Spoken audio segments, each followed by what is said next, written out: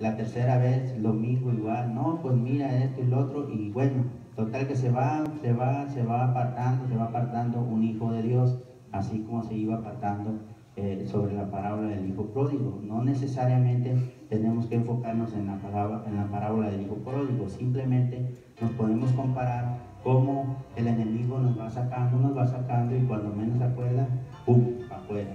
¿Sí me entienden? Entonces, yo meditaba en esa palabra y dije, cuando yo llegué a esta iglesia, yo me acuerdo, ¿verdad? Que siempre en la campaña y era el primero que andaba enfrente.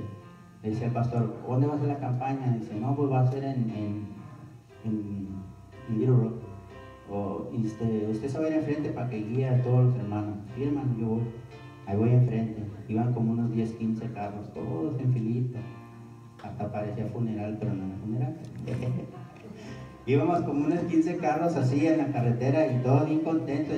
Yo enfrente y el pastor atrás y las ovejas en medio. Y pues qué bonito. Y luego otra vez, así igual, ¿no? Pues que vamos para Kobe, para Cersei, que para eh, Kansas, Missouri, que pienso que hay para todas. Vamos, todos en filita, ahí vamos. Ahí vamos.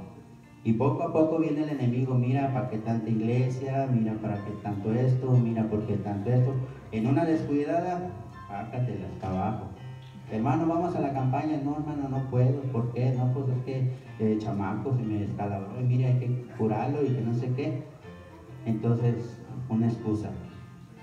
No digo que, que, tiene que despreciar a los niños, ¿no? Pero, o sea, así pasa. Entonces, poco a poco nos vamos saliendo de la voluntad de Dios y cuando menos esperamos, ya estamos como el hijo pródigo. Andamos así, bien cabizbajos, bien caídos. Y, dice un hermano a otro, oye, ¿te acuerdas que aquel hermano que brincaba y saltaba y lloraba y danzaba y hacía y deshacía? Y pues ahora ni me contesta el teléfono. Le marco, hey, hermano, no contesta. Márcale al otro y hermano, tampoco. A los chiquillos menos. Total que el hermano ya se nos salió del carril. Amén. Entonces venimos a caer en lo mismo, que viene siendo como un hijo pródigo. Empieza uno a mendigar, empieza uno a batallar con su vida espiritual, empieza a tener dificultades con los hijos y, empieza a pasar miles de cosas. Y uno dice, ¿por qué me pasa esto? ¿Por qué me pasa lo otro? ¿Por qué mi hijo? ¿Por qué mi hija? ¿Me entienden? Entonces, cuando ya quiere uno remediar las cosas, ya están bien descompuestas. Amén. Yo tengo un hijo y, estoy orando por él y he tenido sueños y, sueño que tengo, sueño que pasa. Mi esposa, sueño que tiene, sueño que pasa. Y le decimos, mi hijo va a pasar esto y esto y esto. Y de repente, pum, pasa. Y lo hablamos con él, mi hijo esto y esto y esto, y pum, pasa. Y lo hace poco, le digo, oye, va a pasar esto y esto, ten cuidado, pum. cada cosa, hermano, gloria al Señor uno no es digno de que Dios le avise, pero ahí está esa voz de Dios avisando, hey, ponte a orar por tu hijo, ponte a orar por tu hija, ponte a orar por tus niñas, ponte a orar, ¿me entiendes? Entonces, toda la, voz de Dios siempre va a estar en un lado y la voz del enemigo va a estar en otra. Entonces, es bien difícil nosotros como padres eh, estar siempre en un nivel. Los esposos, cuando el esposo anda bien arriba, la esposa anda abajo. Cuando la esposa se sube, el esposo se baja. Qué bueno sería que el esposo y la esposa caminaran del mismo lado, de la misma mano y que una cosa hermosa. Mi hija, vamos a la campaña, vamos. Oye, mi hija, vamos a orar, sí, vamos. Oye, mi hijo, vamos a la iglesia, vamos. Oye, mi hijo, mira esto, vamos a orar, vamos a orar, órale, vámonos. Y, y los dos juntos, pero siempre uno por allá y otro por allá. ¿Sí me entienden? El enemigo siempre va a estar en medio, siempre dando y dando y dando. Y todo lo que nosotros hagamos como padres los hijos lo van a ver. Si yo no oro, mi hijo me va a ver. Si yo no leo la Biblia, mi hijo me va a ver. Mi hijo me va a ver. ¿Sí me entienden? Entonces, siempre tratemos, digo tratemos porque esta palabra Dios me la dio a mí, tratemos de siempre estar, eh, en que sea un versículo por, día y leerla o un cantito, qué sé yo, cantar alabanza en la casa.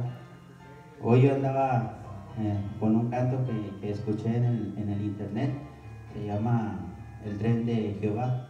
Y me puse a cantarlo y a danzarlo, ¿verdad? Y mis hijas nomás me miraban y se reían, ¿verdad? ¿Me entiendes? Y yo danzaba y andaba haciendo el tren de Jehová y danza y. No se me quedaban viendo y si pues miraban el, el, gozo, el gozo que yo traía y que traigo todavía, no se me ha acabado. Y gracias a Dios, ¿verdad? Y, y pues muchas cosas que uno hace como padre, los hijos lo van a hacer. Entonces, vamos a seguir un poco. Dice el 15, porque ya lo leímos. El, el 17. Y volviendo en sí, dijo, ¿cuántos jornaleros en casa de mi padre tienen abundancia de pan y yo aquí perezco de hambre?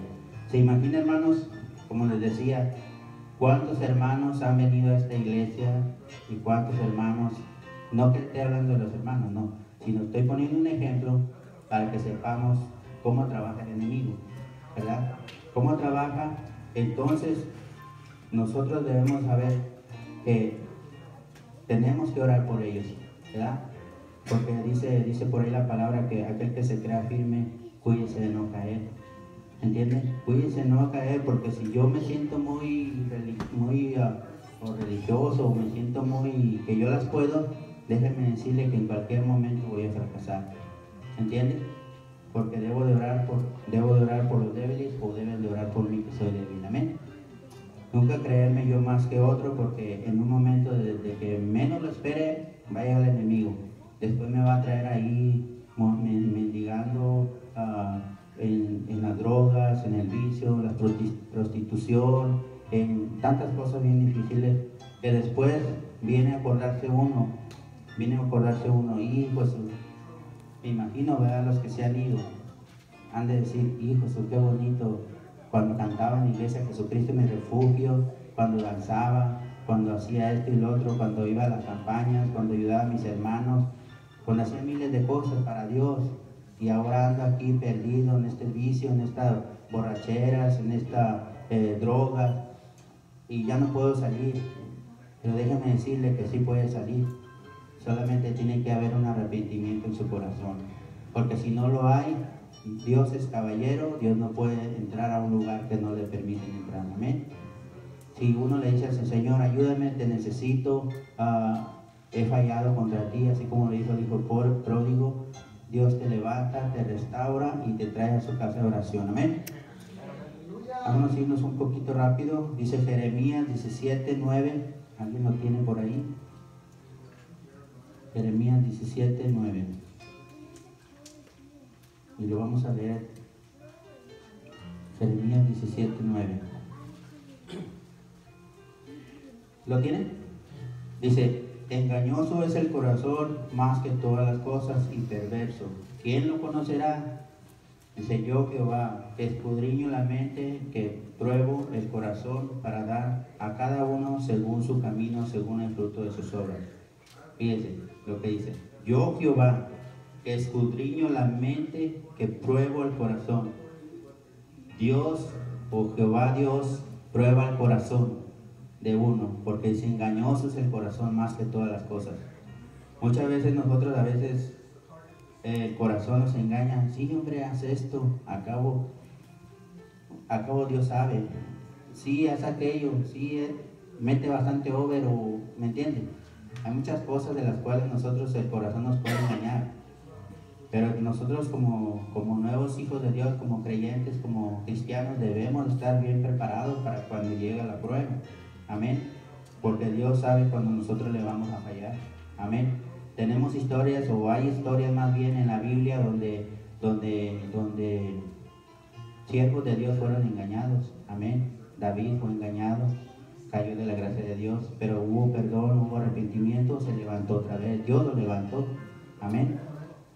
Jonás fue aquel hombre que se fue en desobediencia a otra ciudad, ¿sí me entienden? Fue a otra ciudad donde se le había dicho que fuera a predicar a Nínive, y él fue a otro lado, a Tarsis, pagando su pasaje, dice. En lo que él fue a ese lugar, Dios ya sabía que, que él iba para allá, que había desobedecido. Entonces, ¿cuál fue el resultado de su desobediencia? Mandó el pez, se lo comió y adentro del pez empezó a orarle a Dios. Si se da cuenta, hubo desobediencia, desobediencia en este hombre, se fue para otro lado donde Dios lo había mandado, después en el pez donde fue tragado, ahí se puso a orar.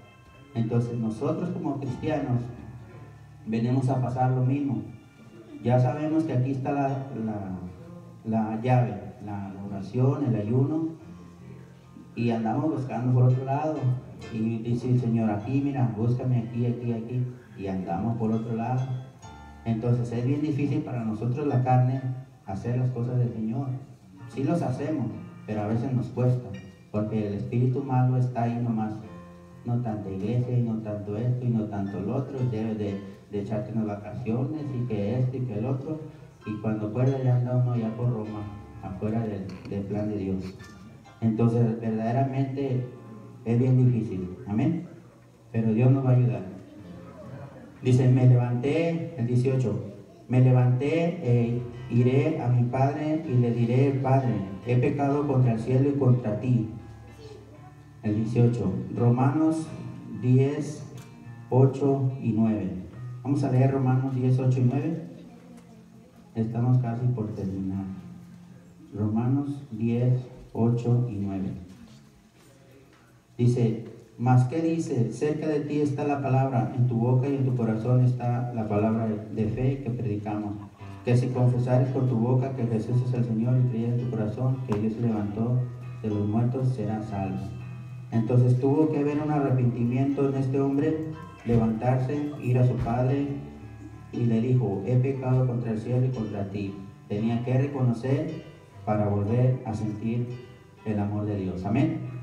Dice, ya no soy digno de ser llamado tu hijo, hazme como uno de tus jornaleros. Salmos 79, 79, 13. Salmos 79, 13. Gloria a Dios. Y nosotros, pueblo tuyo y ovejas de su prado, te alabaremos para siempre, de generación en generación, cantaremos tu alabanza. ¿Se da cuenta, hermanos? Nosotros somos sellados por el Espíritu Santo, nosotros somos del Señor, por lo tanto nosotros ya no tenemos que andar mendigando pan, ya no tenemos que andar afuera del plan de Dios. Dice el 20, y levantándose vino a su padre y cuando, cuando aún estaba lejos le vio su padre y fue movido a misericordia y corrió y se echó sobre su cuello y le besó. Y el hijo le dijo, Padre, he pecado contra el cielo y contra ti, ya no soy digno de ser llamado tu hijo.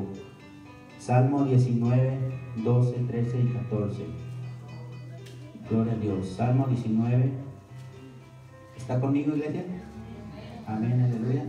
Salmo 19, 12, 13 y 14. Cuando tenga, déme fuertemente. Dice, ¿Quién, podrá entender sus propios errores? Líbrame de los que me son ocultos.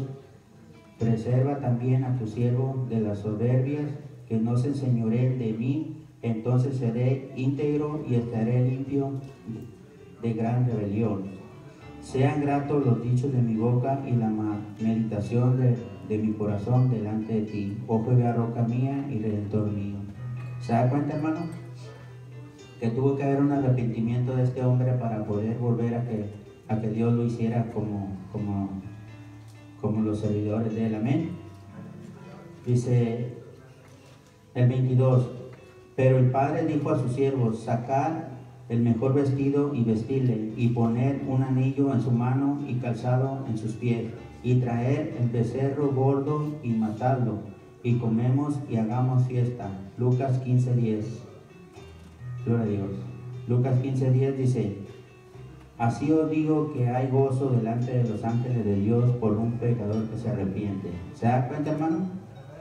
Después de haberse arrepentido este hombre, después de haberse eh, eh, reconocido su falta, su pecado, él reconoció y el papá, ¿verdad? En contentamiento dijo, vamos a hacerle una fiesta, vamos a matar el becerro más gordo, el más bonito y vamos a hacer una fiesta.